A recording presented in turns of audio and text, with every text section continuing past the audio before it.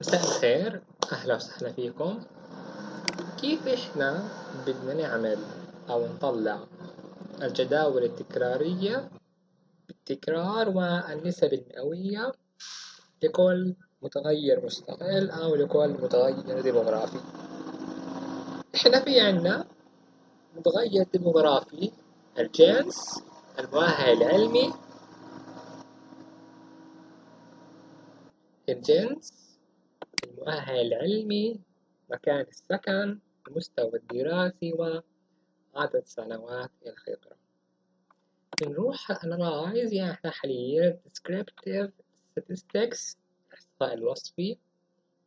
frequencies يعني التكرارات. وباجي بدخل الجندر وال qualification وال location وال school level وال experience وبخلي الصح موجود على display frequency tables يعني أظهر لي جدول التكرارات والنسب المئوية وباجي بحكي له okay.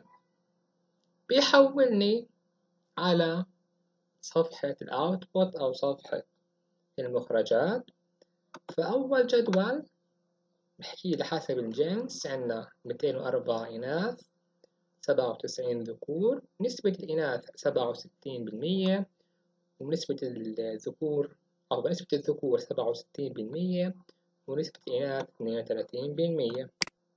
أما بالنسبة للمؤهل العلمي مية سبعة وعشرين بكالوريوس مية سبعة وستين من حملة الماجستير وعندنا دكتوراه سبع أشخاص.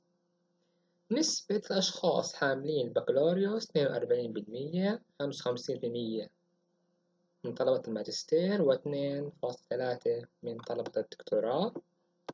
حسب مكان السكن عندنا الشمال عندنا تسعة وثلاثين بني آدم أو طالب الوسط ثلاثة وأربعين الجنوب سبعة وستين من حيث واحد وخمسين والقدس واحد وخمسين.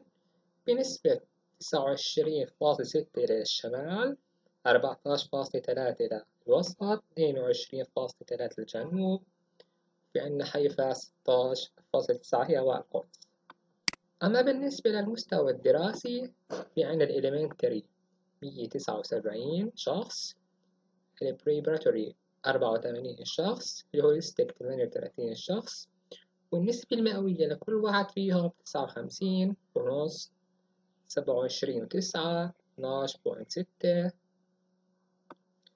بخصوص الخبرة عدد الأشخاص اللي خبرتهم التدريسية أقل من خمس سنوات واحد وسبعين نسبتهم تلاتة وعشرين وستة.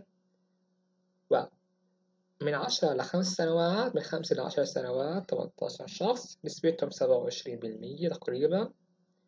من حداشر سنة لخمستاشر سنة سبعة وستين شخص ونسبة تكرارهم خمسة وعشرين فاصلة اثنين بالمية.